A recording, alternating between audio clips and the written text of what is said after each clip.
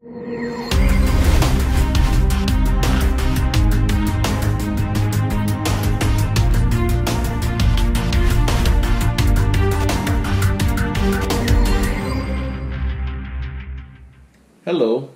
welcome to today's The Word in the Flash. I'm Freddy Wilson. Today's subject is Who will you listen to? We are bombarded daily in the news and in various media as to what we should be doing or who we should believe in. Today's political environment, uh, it doesn't matter on which side of the fence you're on, the politicians are creating a mess for the people they're supposedly representing. Some of us have even seen in our churches the supposed leaders of those churches doing things that are considered immoral and in some cases illegal. Yet we still don't know what to do or what to believe. There are either folks talking to some of us about different gods, not just the one true God, but different gods. Christ came to earth to let us know that there's only one true God. Even though he never committed a sin, he was later persecuted and died for our sins. Believe in Christ and you'll be saved from your sins no matter what it is. 2 Corinthians 5 and 21 reads, For God made Christ, who never sinned, to be the offering for our sin, so that we could be made right with God through Christ. If you want to be successful in believing God, then you got to have faith in Him. The kind of faith I'm talking about, it will gain you favor in God's eyes. Favor isn't always fair. When God bless you with favors, others won't understand why you're blessed the way you are. But you have to put your faith in Christ, and that's who you should believe in. For favor is a good thing and nothing negative. It's always a positive thing, no matter what other people may think of you as a result of your favor.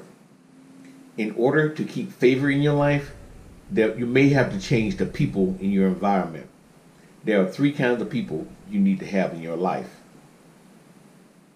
Number one, those that add to your life. These could be your friends, co-workers, your spouse, or your neighbors. Two, those that protect you.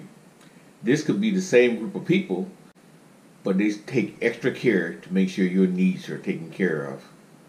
Number three, are those that correct you. These have to be people that you trust. You just can't go around getting advice from just anyone. You need to pray to God about these people so you can know that these are the kind of people that you can go to, that you can consult with, and get advice from. Above all, we need to look to God for all our needs. First Chronicles 29 11 through 14 reads, Yours, O Lord, is the greatness the power, the glory, and the victory, and the majesty. Everything in the heavens and on earth is yours, O Lord, and this is your kingdom. We adore you as one who is over all things. Wealth and honor come from you alone, and you rule over everything. Power and might are in your hand, and at your discretion people are made great and given strength. O our God, we thank you and praise your glorious name. But who am I and who are my people that we could give anything to you? Everything we have has come from you, and we give you only what you first gave us. This scripture is there to remind us that for whatever you have or whatever you need, it's all in God's hand. No matter how you came about it, or how you acquired it, or how anyone may have given it to you, it's all from God. You need to give God the thanks for the things that you have and for the life that you live. All in all, you got to be careful about who you listen to.